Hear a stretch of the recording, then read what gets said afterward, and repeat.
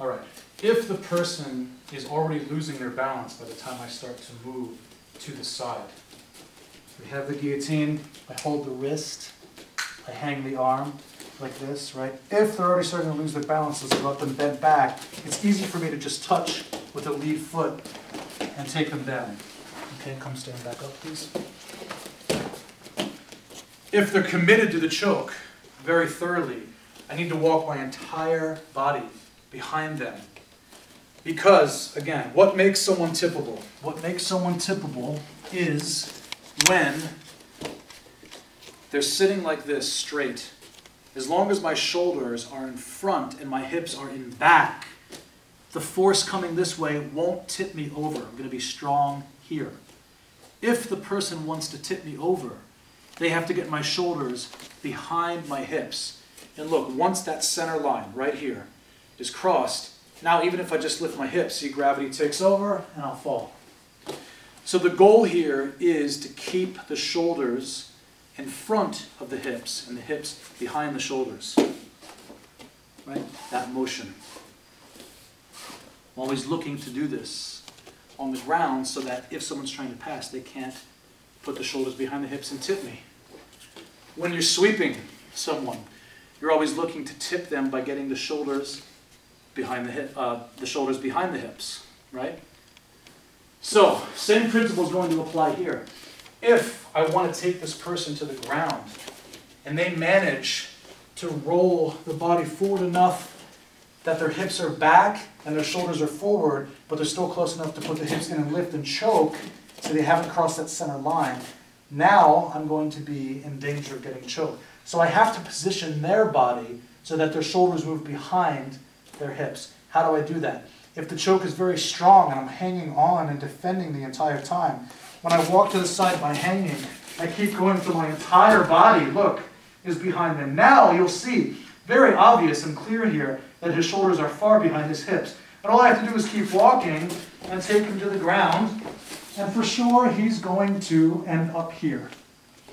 Now I can just take the hand and put the forearm across the throat, drop the frame, start to move, make him let go, and then see what happens. Maybe I'm under the head, maybe from here I'm stepping over for the mount, maybe I'm putting the knee in the belly, maybe I'm just sitting like this in Kesa Gatame. I don't know, right? What matters is that you escape the choke. Now, getting into a little more detail about the way in which the choke may happen. Wrestlers are going to be very fond of doing takedowns where at least one, sometimes both knees touch the ground. Because they're used to measuring the distance like this. Sometimes they'll touch the head, touch the hand, right? Start to slap a little bit, they'll do this, right? And then they're going to take a step. And look, the step that enters initially is just a short step. It's just a short step to cover the distance. The main distance is covered by what's called a penetration step, where the front knee now drops to the ground. Once that happens, look, you'll see, if I take a step like this, that's about as close as I can get. But from here, from this step, now when I extend my body even more forward by taking the knee to the ground, look, I'm that much closer and I manage to cover the knees. The head goes to the outside like this and it hangs on the hip. It hangs on the hip because now that I'm pushing him backwards this way, in order for me to finish the takedown, I have to do part two of the takedown, right? First is penetrate, second is turn the corner. I just walk around in a circle until he falls. Right, so I'm like this, and I measure the distance, and I step, penetrate, and then from here, I walk. And I use my head on the hip to create a counterbalance. I push him this way, right? As I pull the knees this way, as I walk. And those three things together, the circular motion, the head pushing the hips this way, and the knees coming in, they all combine to make him fall. If I get lazy with my head, and I have poor posture, and I do everything right, and we're sitting here and I measure up and I step and penetrate, and I go like this, look, there's the guillotine. Now I have to abandon everything and switch to my defense. I better get up. Better get up and see what happens. And don't stop defending until you're free from the choke because he lets go. Okay? Another way I may choose to take someone down is by putting my head to the inside.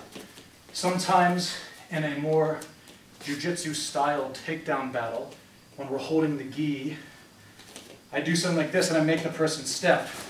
You know, and then when they give me that leg, I'm going to reach down and scoop it and hold it between my legs. In this instance, in this instance, I want to put my head on the inside, glue my ear to the thigh. Look, if I put it outside, again, potential for the guillotine, okay?